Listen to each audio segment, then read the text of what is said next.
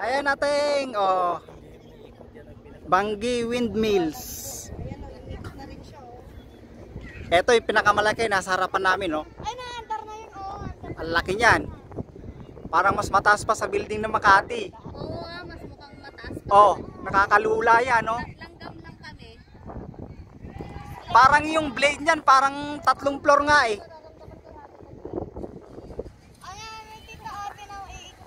Ayan natin, yung ano, yung guhit niyan, yung sa tubo niya, parang guhit niya, parang isang floor yan, no? Parang isang floor yan, bilahan mo ilan yan? 1, 2, 3, 4, 5, 6.